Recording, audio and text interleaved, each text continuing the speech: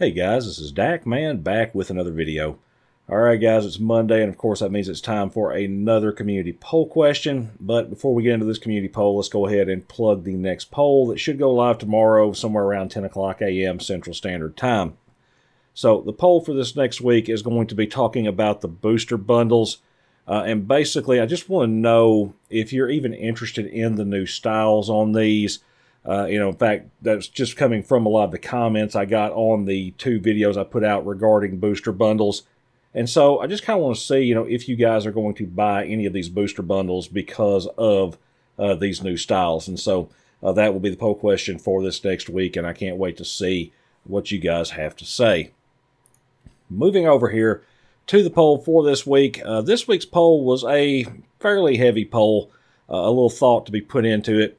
But saying here that there are several systems in DCUO that have been left by the wayside and mostly forgotten or dumbed down to the point of feeling super basic, but I wondered which system you would like to see reworked or revived the most. Uh, of course, I only get five options, and so I went with the top four I could think of, uh, and then left an other uh, on there for you guys to add in your thoughts on that. So, uh, Legends PVE, uh, of course, player versus environment, uh, where we run as the Legends characters. 18% uh, want to see something more done with that, bring it back uh, or rework it in some fashion. Crafting 10%. I was kind of surprised on that. The crafting in DCUO is super duper basic. It's literally the same thing every episode. You're just recrafting the same items at higher levels. Uh, and so, you know, I thought maybe that would be something interesting to folks. Uh, League Halls, this is the one I'm more uh, in tune with uh, 18% on that. Basically, League Halls had two episodes uh, revolving around them, and then they just got dumped, and that was it. And they never really went back and revisited. There's never been any updates to the League Halls, and so yeah, they're just kind of you know they were left to the wayside. PvP, uh, no surprise here, 42%. Uh, went for that. PvP is something that I figured would probably score very highly because there's a lot of people that would love to PvP if it was worth playing.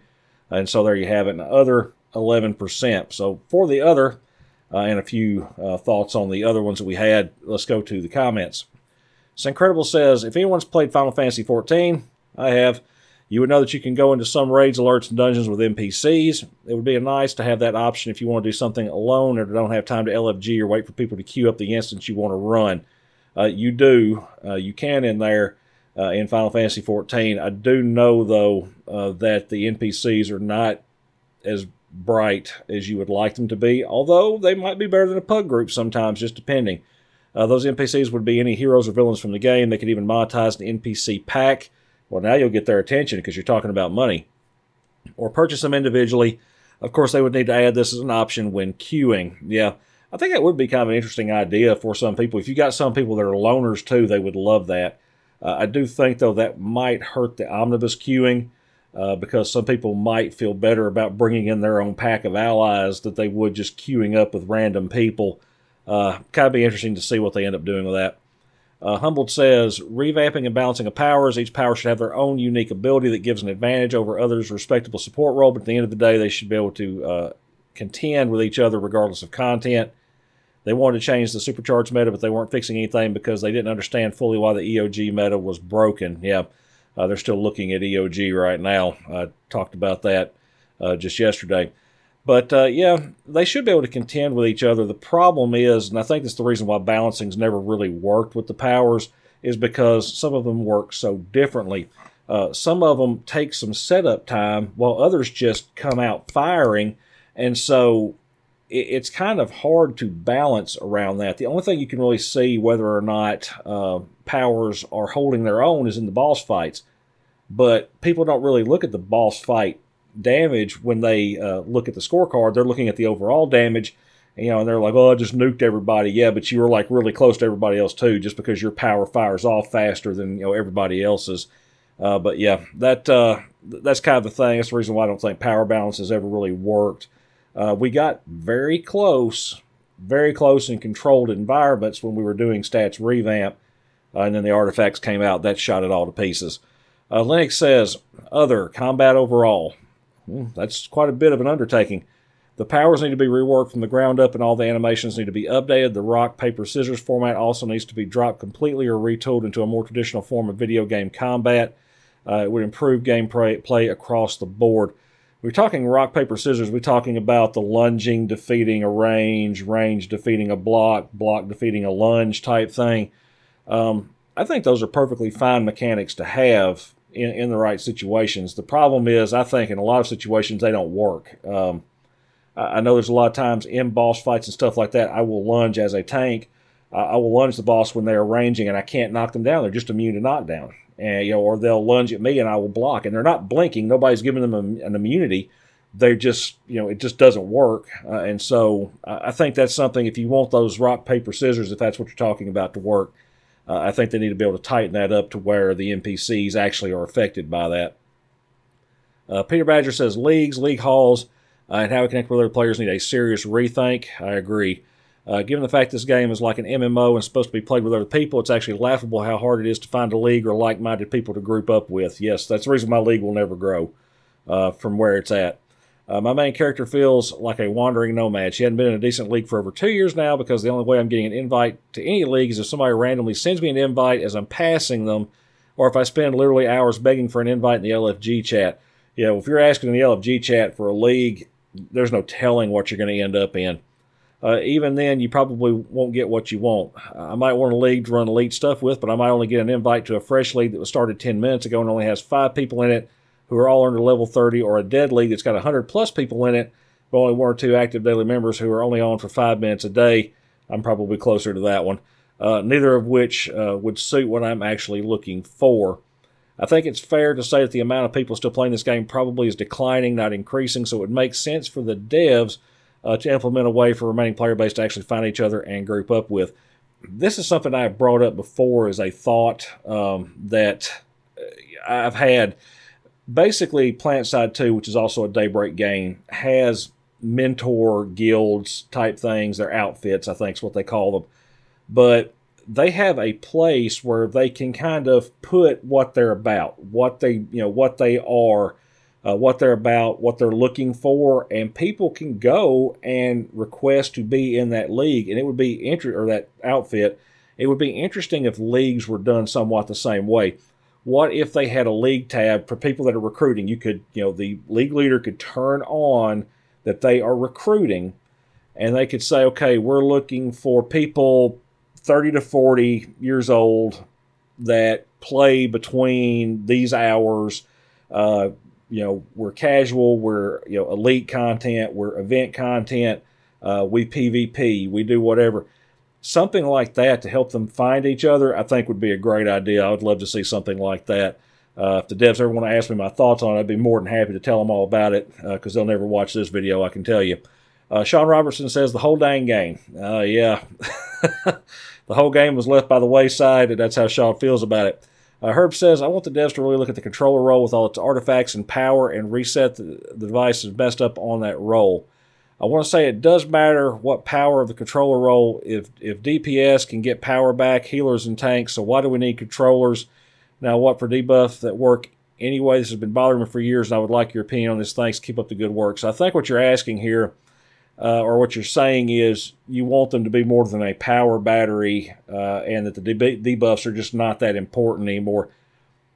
I, I would have to say that you're probably correct, and unfortunately, I don't know that there is ever going to be a way around this. Um, actually, back during advanced mechanics was the point that the controllers started to fall off. Just, just plain and honest to goodness truth, that's when it started to fall off.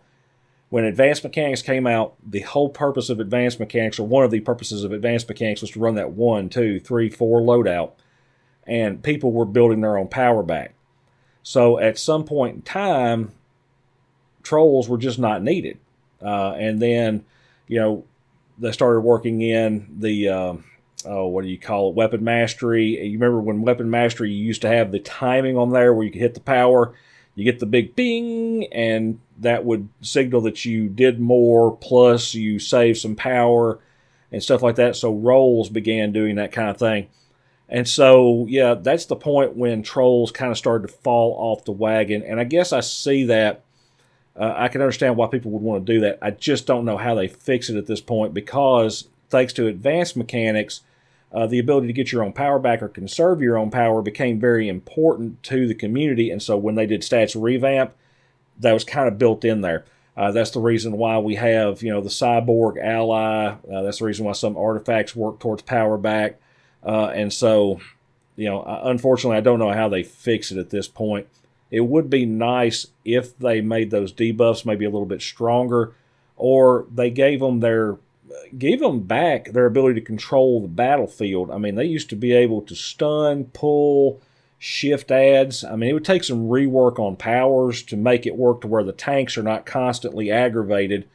But I, I do think that they could do something like that, make the controllers the controller of the battlefield, not just a power battery for what little power battery they're used for uh, nowadays.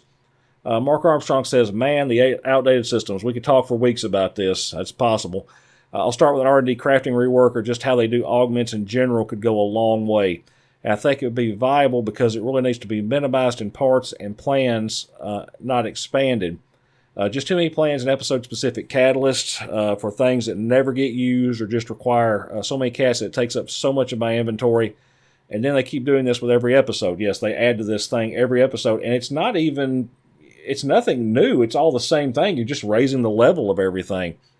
Seems like a waste of dev time to keep it up at this point when it could be so much easier with less parts. But as far as what I think should be priority, my vote would always be for upgrading the weapon combat and moving in every one of these, uh, moving and movement in every one of these discussions. Uh, I just think as far as non-monetization efforts, uh, this is where the dev should put resources and focus to see the most improvement in player base and overall quality of gameplay. Legends PvE is kind of something I laugh at because there's a bunch of feats I'd love to get, but I'm not spending money, money to buy the Legends required to do so. I thought they really missed an opportunity to overhaul Legends when they uh, didn't tie in the ally systems with them. Yeah, that, that probably would be interesting to tie in. Uh, instead, they uh, gave us content specific versions like Batman Who Laughs or Flashpoint Aquaman and Flashpoint Batman, etc. I just really thought they should have made ally versions of current Legends in game before they did the episode versions. Uh, then people, myself included, would have considered uh, buying the Legends allies uh, if that's how they were obtainable. Imagine a St. Walker ally. I would take one. Or Kilo or the other really cool legends, but they didn't. Uh, I'll leave it at those for now. Thanks, Dack. Sorry for my long rants. Have a good one. Yeah, it's all right. I like long rants because I like to read a lot of different opinions on that. Uh, Russell Lee says stat clamping. Uh, I haven't ran older content nowhere near as much I did before the game. Many other players I played with over the years can't help uh, but see the correlation. Yeah, I still don't think we lost as many to stat clamping as a lot of people think, but I do know that it's it, it did bother a lot of people. It did run off a lot of people. Uh, unfortunately, I just, you know, I'm not going to keep beating the dead horse on that. Unfortunately, for a lot of folks, DCUO just followed what a lot of other very big and successful MMOs have done uh, and made it to where low levels uh, have people to run with in that content. They put a good reward out there. They clamp the people so that you're not making the content trivial and giving those low level people somebody to run with and level themselves up. Uh, basically, to remove the stat clamp at this point kills the bottom end of your game, and you might as well at that point just set a timer uh, when DCUO would expire, uh, because I think that would probably uh, be the end of it.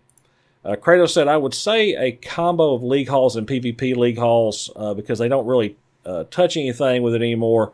we got two League Hall variants, Moon and Underwater. Wish we had more, and I'd love to see a League Hall daily mission that gives special rewards uh, which they were going to do that before it was scrapped in PvP. It would be great to have a rework. I know it's a dead part of the game, but if they revive it and fix it up, it would bring a ton of DCUO PvP veteran, veterans back. Uh, nerf powers that need a nerf and balance every power so that it is somewhat equal. Yeah, there's a lot to unpack there. Uh, I do think league halls need something to do. Uh, more variants would be great, but that won't really help you if the league hall doesn't have any purpose. Uh, because I'm gonna be honest, I don't know the last time I went to my league hall. I don't even remember to go turn on the buffs sometimes. So, you know, I don't know if you don't have content to get people in there. I don't think it's really going to to, to help people remember that they even have them. Uh, PvP would definitely be great to have a rework. I think it needs a rework. It would be nice to make it somewhat useful uh, to players, give them another avenue of progression, something to do when they're bored. Like I'm bored right now, and if I liked PvP, I would be working on feats, but I don't like PvP, so I'm not doing it. Uh, then, of course, let's see, said uh, nerf powers that need a nerf and balance every power so it's somewhat equal. Um, I don't really know that any powers need a nerf. I think some powers need buffing. That would be my opinion of it. Uh, but you know, to balance every power so that it's somewhat equal, you, you can balance to a degree. We got close with stats revamp. We got close, but it didn't stay very long because about the time they got it playable, out came the artifacts and it screwed everything up. I just don't see it ever getting a whole lot better from here.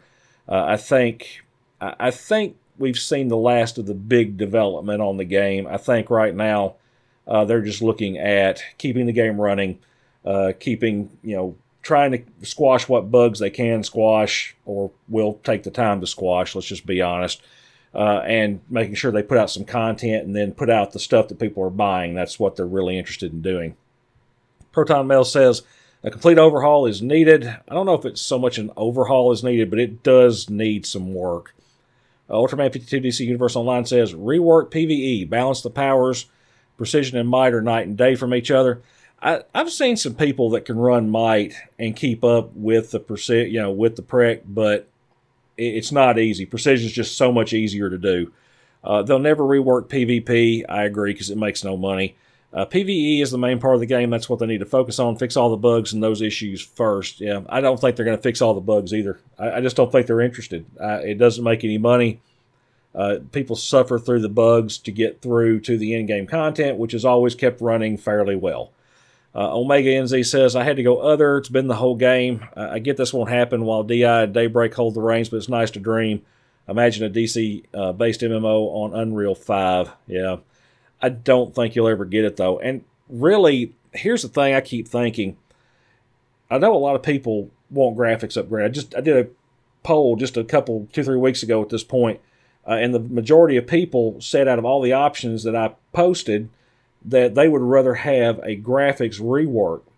But if you think about it, if yeah, they put DCUO. Let's just say they made DCUO two, put it in Unreal five, and we still had all these other issues would people still be would people really be that much happier just because the characters look better you know that's kind of the question i've got you know i, I know i would love to i would love to see dcuo and unreal 5 i mean i would love some realistic looking graphics but would it make the game better i would still be mad at the monetization i would still be mad at the bugs that go on I would still be aggravated in the fact that the content, you know, things like what we're talking about here, like PvP, Legends PvE, League Hall, stuff like that, that all that stuff has just been dumped and it's not really good. The crafting system is not uh, it's not something that you enjoy doing. It's just something you have to do every episode, and you're doing the same thing over and over again, just with higher numbers. And literally, that's all there is to it.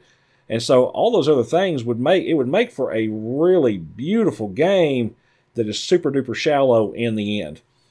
Uh, Zero Shinkai says, "Remember that time when we didn't have the stat clamp?" I do. Uh, I don't uh, particularly think greatly of that time. I just kind of wish with the stat clamp they'd have gone ahead and just made it an option. I think that would have saved like 99.9% of the issues. Just make it optional, and then if you want to go in clamped, you go in clamped and you get the extra rewards. And if you just want to blow through just to make yourself feel super powerful, or if you want to go through and knock off a feat or something like that, you can go do that. And that's that's I really the wish I that's the way I wish they would have done it. PG90 says it's be honest about Legends PVE. The only reason they made it was to counter Marvel Hero, Heroes Omega coming to PlayStation. Uh, it sounded like a good idea, but PvP loadouts just didn't work in PvE content. That's very true. The the PvE loadouts or the PvP loadouts did not work in PvE content. In fact, there was a point where they did some adjusting to Legends PvE and it became so hard to run through it because you don't have any healing, you don't have real controller abilities or anything. You're just working with attacks and it just it didn't feel good to play it. Uh, and so, yeah, that's, you know, they would really, if they want to do Legends PvE, they would have to really overhaul it uh, to make it either where you still felt very powerful running through with the Legends characters, or they could, you know, or, or they'd have to change up the powers that you're using, uh, just to be frank, and I don't think they'd ever touch that. Uh, so, Dakaru says, Sudaruku, I think it's Sadaruku. Uh, league halls need new areas and a reason to actually go there. Absolutely agree. Something to do, some reason to show up in your league hall besides turning on your buffs when you remember them if you're me. Uh, Joseph says, other, undo the stat clamp. Um, it's never going to happen. As I have a lot of old content I've never run, uh, I don't do much crafting. I rarely visit the league halls. I don't play uh, Legends PvE. I'd rather, I would play PvP if they fixed it and it brought it back. Um, yeah, the stat clamp's never going to be undone. I mean, it's it's never going to happen at this point uh, because if they undid it, I think it'd kill the bottom end of the game, and you just might as well forget it. You're not going to have new players that are going to come in and grind their way when they only have X amount of content that they can do in the course of a week. Nobody's going to come in and grind their way all the way to top level anymore. Or either that, or you'll have them giving out these uh, skip to 333 or whatever uh, things over and over again. People will be, be complaining that the folks at the, that's now at the top of this content don't know what they're doing. They don't have any skill points or anything like that. Well, it's because they don't have anybody to run with uh, in the low level content. They can't grind and level up. Solace says, uh, PvP, I think not having proper PvP hurts the game a lot. Uh, in many game, PvP tends to be the playstyle that keeps people playing after they complete the PvE content. Of course, the PvP aspect of the game has been neglected for so long that fixing it would be akin to designing a new game. Uh, so I don't really expect any changes, but one can hope. Uh, yeah, one can hope. I, they won't touch it because there's no money in it. But if they figured out a way to monetize it, uh, maybe they would come back and have a look. Uh, Charles Quester says to me, this isn't even close. League halls have been left by the wayside, the devs by the devs and players. Yeah, I mean, because there's no reason to go there for a player, uh, and the devs, I guess, ran out of ideas. That's the only thing I can think. I doubt anyone goes into their league hall anymore. It's it's not often. The last reason to really go would be to test loadouts on three target or eight target groups. Yeah, I do that from time to time, but usually when I'm on live servers, I already know what I'm going to run. Uh, House of Legends has that now. Uh, so what reason do, does anyone have to go there? Well, to do it without anybody bothering your your targets. Uh, maybe the league banks, maybe, and to purchase league buffs. Uh, crafting, you still have the highest level base mods and maybe some buff soders. Uh, Legends PvE, at least they run some weekly bonus for it every once in a while. PvP isn't forgotten, but it's not going to be updated. Uh, but at least players still duel scrimmage and run arenas. At least I assume. I, you know, I'm telling you, I don't know how long it would take if I queued in to run anything other than a one-on-one PvP match. Uh, the last thing I heard about the league halls, was they added different places to warp, uh, and the warp pads are still useless. Uh, you have to use your character warp menu to get anywhere worthwhile. Yeah, they kind of they brought out those teleporters, and now your menu, your your uh, just your basic menu warp menu is where you go to go anywhere you want to go. Uh, Greg Artman says uh, all need revamp. I can agree with that. Uh, PvP is so broken it needs balancing. Legends PvP is so weak your characters is so weak your characters feel stronger. Uh, crafting uh, to find an item in a huge list you can't filter. Yeah, that's another reason they need to really break that down.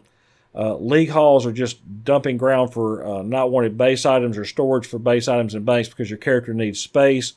I feel all these need attention as they either need to be reworked so players can skill point hunt in both Legends and PvP, Reg PvP. Uh, crafting just needs an overhaul, and league halls should be looked at uh, for big leagues and small leagues as prestige is slow to get but expensive to use. I think that's more now than ever just because leagues are so small. If the leagues were the size they used to be when league halls came out, that really didn't seem that bad. But when you've got a lot of leagues with just two or three or four people in them, yeah, I mean it's going to be hard uh, to to build up the kind of prestige you need uh, to be able to feed that to pay your your your league hall rent. I guess is what I should call it. Uh, Coach V says Legends PvP is such a waste. The only reason people even do it is for the feats. I think you mean PVE, but yes, it is such a waste. All of it, uh, PvP. This is Dan. All of it, PvP is a joke. Legends PvE is the worst. Crafting is awful and pointless. Yeah, it's not pointless. There's a reason to do it. It's just there's nothing rewarding about it. You're just raising the numbers every episode. That's literally all you're doing. Regathering, you're doing the same thing, regathering the same thing over and over again. Instead of gathering up all the stuff and crafting your armor uh, every episode, we are going and running for the marks, getting our armor, and then you you know you just basically go and put all the pieces around it, your augments and stuff like that. It's just there's just not a whole lot to it. There really isn't when it comes to crafting. Uh, the power and movement balancing is and movement balance is terrible. Yeah, I mean basically if you don't run as super speed, you're you know you're a loser. I guess is the way people look at it. Uh, I've always been flight. I'm going to remain flight. I have no intention of changing. I guess I'll just be uh, like a lot of you guys out there and just not running the meta way because I don't care to change up the fun of the game uh, just to be better than everybody else. So, uh, just a quick recap here uh, as far as what you thought you would like to see reworked the most. Legends PvE 18%, Crafting 10%, League Halls, that's the one I would like to see at 18%. PvP 42% and other 11%. And guys, that was your community poll question for the week. Uh, just a quick reminder uh, make sure uh, Tuesday morning, 10 o'clock, when this should go live, uh, 10 o'clock Central, the next poll coming up uh, and basically going to ask whether or not you intend to buy any of these booster bundles uh, because of the styles. And so, guys, with that, that's all I got for you today. I appreciate you watching. I will talk to you guys in the next video. Guys, thanks for watching to the end of this video. And if you liked what you saw, head down and leave me a like and a comment. If you haven't subscribed already, that option should be available on the screen, along with a couple of options if you want to see any more of my content. You can also follow me on Twitter at Dack underscore mangamer if you want to connect with me there. Thanks for watching, guys, and I will talk to you in the next video.